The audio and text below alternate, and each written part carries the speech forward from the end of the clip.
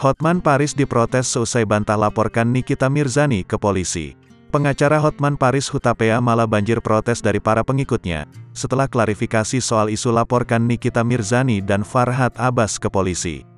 Diketahui sebelumnya, Hotman Paris Hutapea merespon kabar yang menyebutnya telah laporkan ke polisi artis kontroversial Nikita Mirzani dan Farhad Abbas, terkait dengan Bunda Korla. Bahkan secara tegas Hotman Paris menyebut, jika kabar soal ia melaporkan ke polisi Nikita Mirzani dan Farhad Abbas adalah hoaks.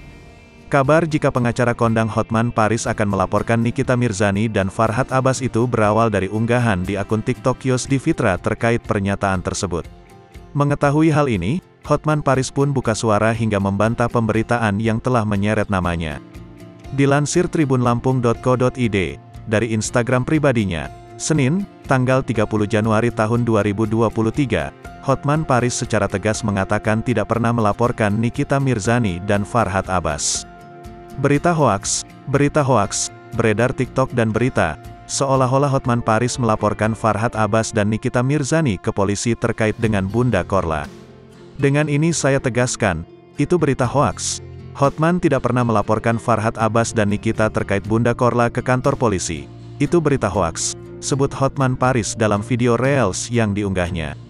Spontan, unggahannya tersebut langsung diramaikan berbagai komentar netizen yang kecewa dengan klarifikasi Hotman Paris.